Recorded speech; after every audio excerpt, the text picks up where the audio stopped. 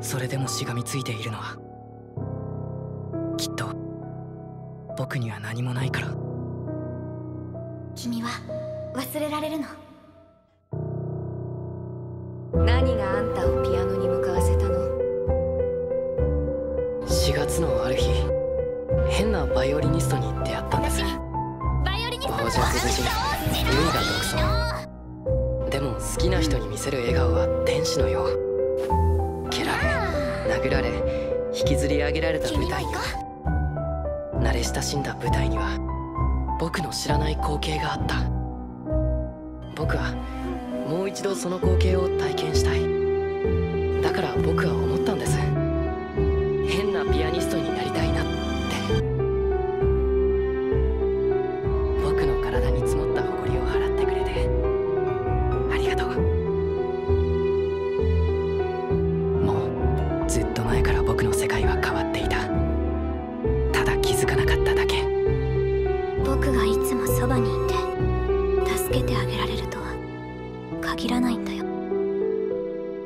私ね。あんまり良くないみたい。こんななら会わなきゃよかったね。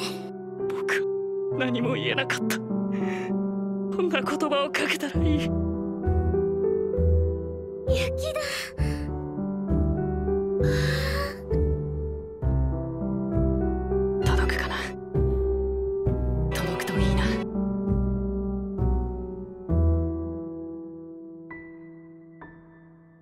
私が無様にあがくのも生きることに執着するのも君のせい。君が私に君といる時間への未練をくれた。宮園さんわかる。すぐ元気になるからね。宮園さん深呼吸